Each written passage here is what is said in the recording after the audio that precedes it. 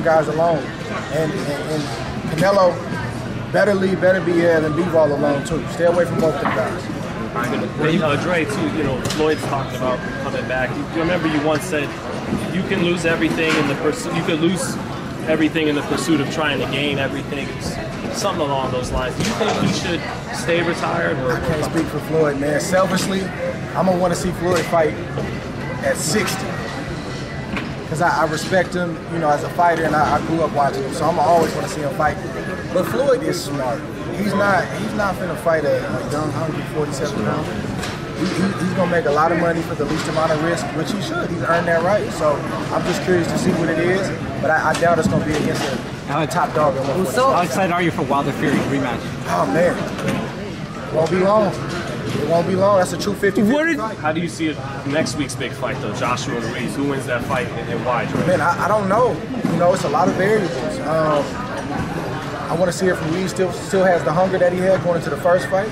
You know, he's living it up as he should to a degree, but you know, too much of that to take your hunger away.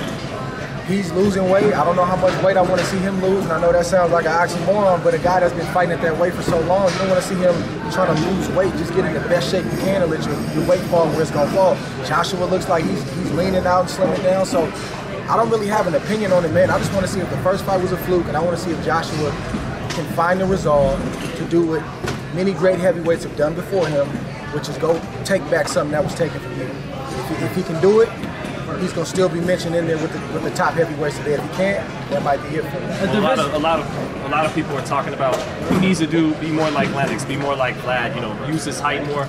Is that what he should do? Or should he just be the guy he's always been? And, you know, turn it up to a 100. I don't know if he could become another fighter, man, in, in a short period of time.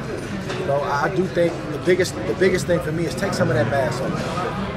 Be who you've been to get to this point. Shore up a few areas. Robert McCracken is a great coach. You know, tighten up a few things. Think about rematches. You don't you don't try to do a complete overhaul. Take one or two things, tighten up on, and uh, get some of that mass off. He'll be in a good position. What did you think of Adam Lopez tonight? Thank you, sir.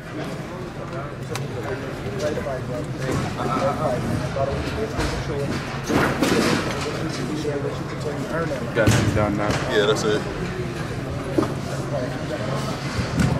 Yeah, I'm waiting for Adam. Good. So oh, thanks. I appreciate it.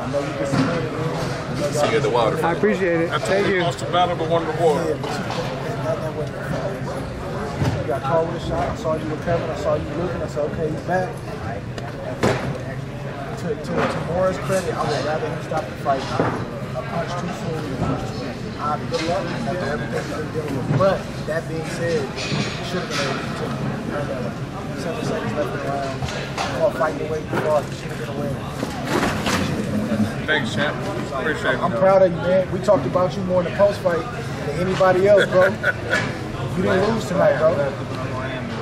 You didn't lose tonight. Stock went up. You say that a lot about you. The stock went up. Keep it here, man. Keep listening to this dude. You. But after that first round, you had a moment. I'm like, okay, it's looking like the moment is kind of getting to him a little bit. He gets with the reset, but after that first round, Yeah. he never looked back. So, okay, team, bro. Thank you, man. Appreciate it, champ. You're good. Adam. What do you, you talk about the fight? Hey, man, listen. Great fight. Adam showed he belonged and even went up a weight class. Right. You know what I mean? He